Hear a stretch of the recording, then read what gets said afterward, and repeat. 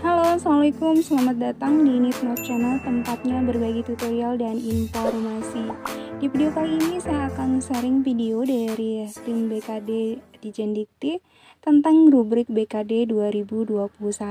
Jadi memang ada perubahan signifikan di rubrik BKD 2021. Ini menyesuaikan dari implementasi kampus Merdeka serta nanti ada pembahasan pemetaan rubrik BKD pada 8 uh, eh, indikator kompetensi utama dari perguruan tinggi. Oke, kita simak langsung videonya. lagi dengan rubrik BKD.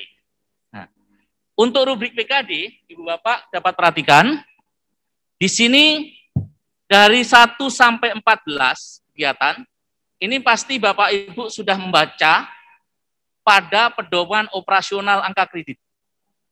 Kecuali yang warna hijau. Karena yang warna hijau ini adalah tambahan dari implementasi MBKM arah kebijakan Merdeka Belajar Kampus Merdeka dan akomodasi terhadap jenis pendidikan tinggi mulai dari akademik, vokasi dan profesi. Ya. Sehingga kita fokus pada pembahasan yang hijau dulu. Ya, yang hijau dulu saja karena waktu kita terbatas. Kalau ibu bapak berkontribusi pada kegiatan yang hijau ini, ini nanti penilaiannya ya menjadi relatif besar SKS-nya. Bapak dapat perhatikan. Ya. Ini besar, ya.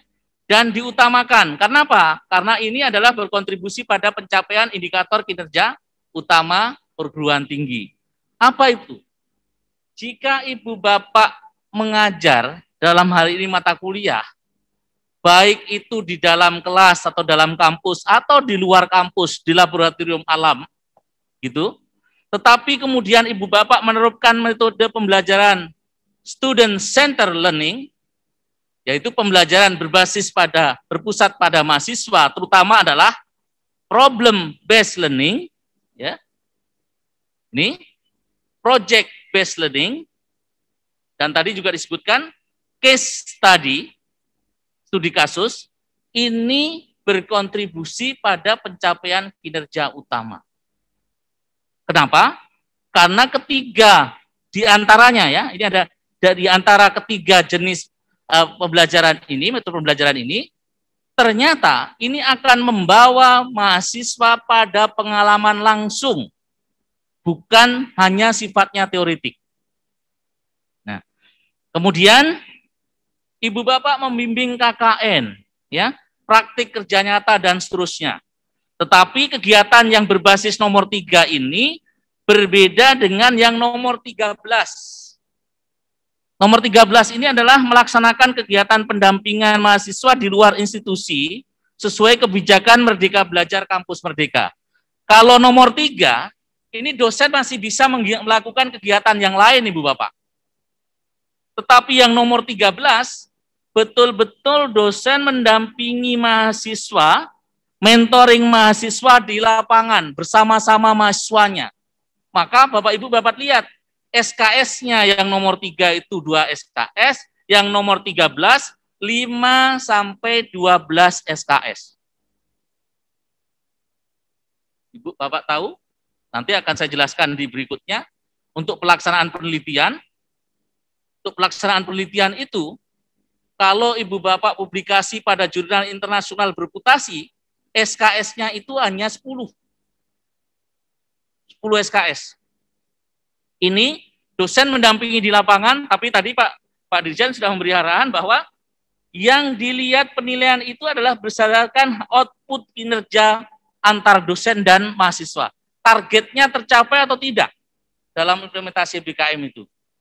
Sehingga nanti ini tidak jadikan motif. Hanya ingin keluar kampus dengan memanfaatkan bahwa dosen eh, bahwa mahasiswa bisa satu tahun di luar kampus. Tetapi ada target yang jelas di situ dan kemudian disetujui oleh Kementerian Pendidikan dan Kebudayaan. Berikutnya yang nomor enam, ini juga penting untuk dijelaskan.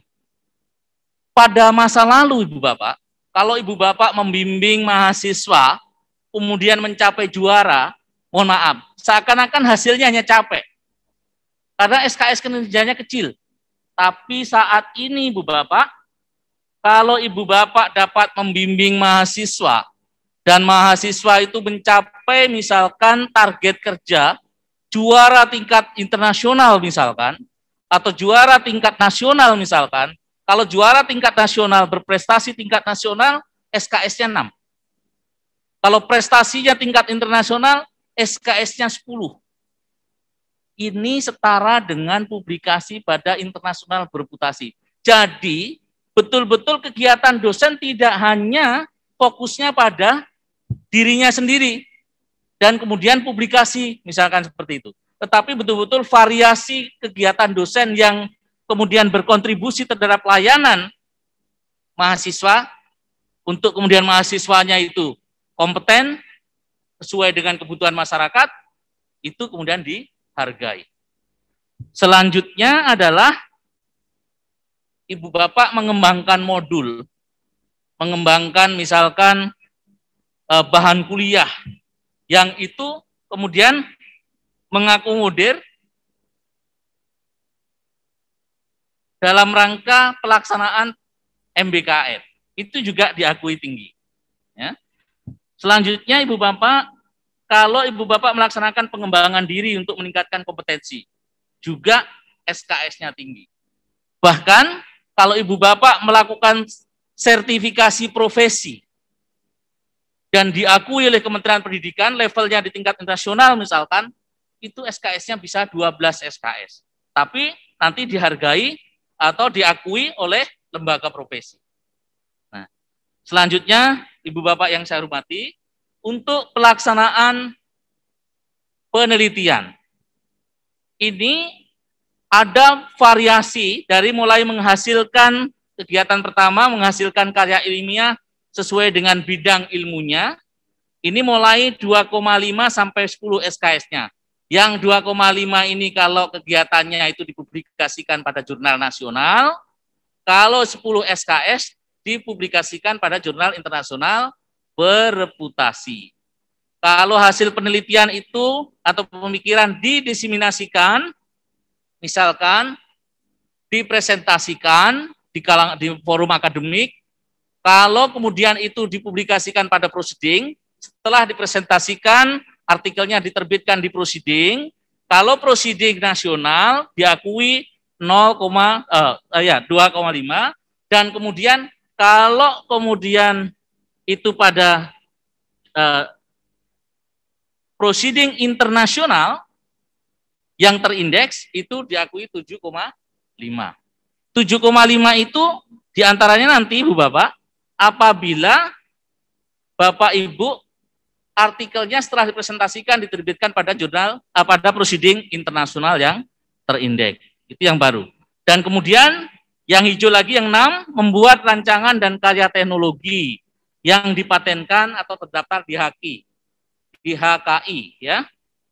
Nah, itu Bapak Ibu dapat lihat SKS-nya besar sekali, antara 10 sampai 20 SKS. Kenapa? Karena yang 20 SKS ini apabila nanti digunakan rancangan tersebut kemudian ternyata diimplementasikan pada tingkat misalkan industri yang multi uh, perusahaan yang multinasional misalkan ya seperti itu. Atau diimplementasikan. Kalau terdaftar di HKI dipatenkan itu baik nasional internasional tapi paten tersebut telah diaplikasikan. Kemudian kalau menghasilkan karya inovatif ya padahal karya-karya tersebut tidak dipatenkan misalkan atau tidak terdaftar di HKI tetapi karya tersebut berkontribusi pada kesejahteraan masyarakat dan daya saing bangsa. Ya. Atau diaplikasikan di industri, itu juga betul-betul tinggi SKS-nya. Itu 10 SKS. Nah, kegiatan yang lain yang baru bagi Bapak Ibu yang sosial humaniora kemudian berkontribusi dalam pembuatan kebijakan, policy brief misalkan atau policy paper misalkan. Itu juga diakui SKS-nya mulai dua setengah sampai 5 SKS. Nah, Bapak, selanjutnya untuk pelaksanaan pengabdian kepada masyarakat, ya.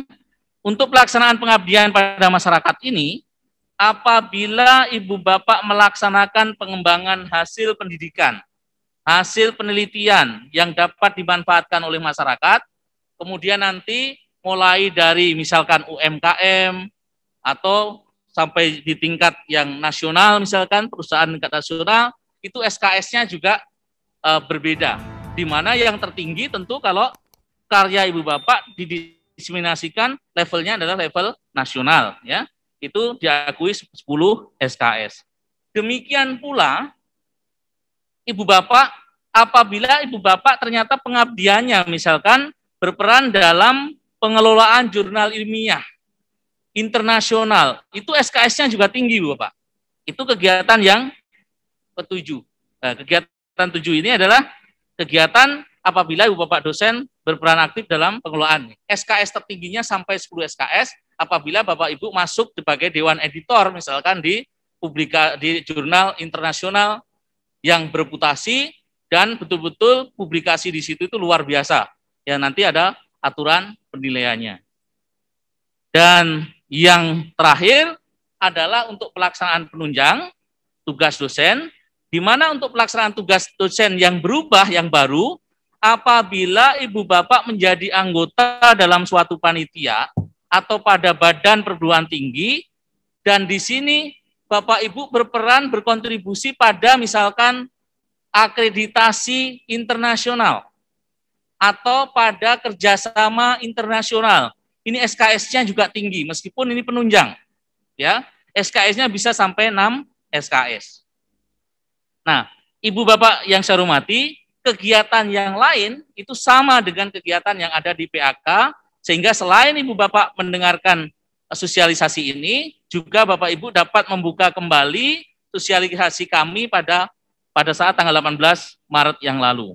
Sehingga di sini terakhir, yang paling terakhir, saya akan menyampaikan sekali lagi, inilah delapan indikator kinerja utama yang dimaksud. Apa itu? lulusan mendapatkan pekerjaan yang layak. Jadi, kontribusi kinerja dosen itu kecuali yang satu. Karena yang satu ini adalah kombinasi atau gabungan dari seluruh kinerja dosen. Ya, seluruh kinerja yang ada di perguruan tinggi, bukan hanya dosen.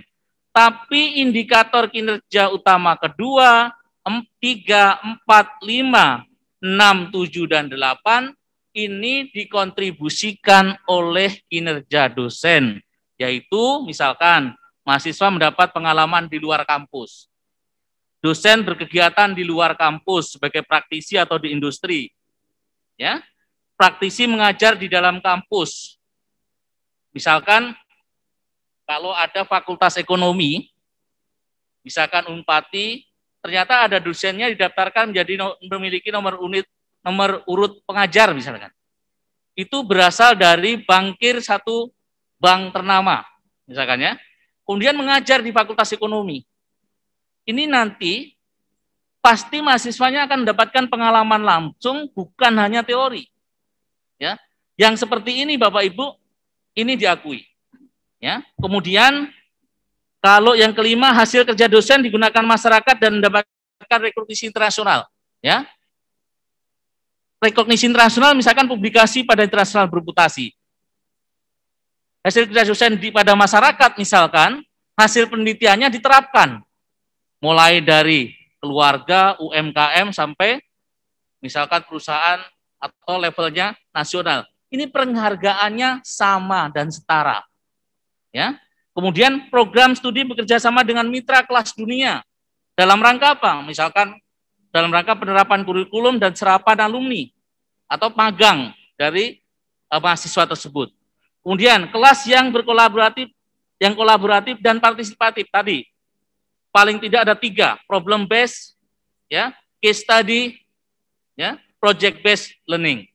Kemudian program studi berstandar internasional, memiliki akreditasi dan kemudian banyak ya mahasiswa asing belajar di tempat kita, di prodi kita. Ini juga bagian dari pencapaian indikator kinerja utama. Nah, rincian dari masing-masing kegiatan yang berkontribusi pada indikator kinerja utama, Ibu Bapak, Ibu Bapak dapat mengikuti pada sosialisasi di Parapat. Cukup mengetikkan sosialisasi BKD 2021 pada kanal YouTube, nanti Bapak Ibu bisa mengikuti kembali. Oke, semoga informasi tadi bermanfaat dan memberikan pencerahan kepada Bapak Ibu dosen dalam penyusunan beban e, kerja dosen di tahun 2021. Jangan lupa like, subscribe, dan komen. Terima kasih. Assalamualaikum warahmatullahi wabarakatuh.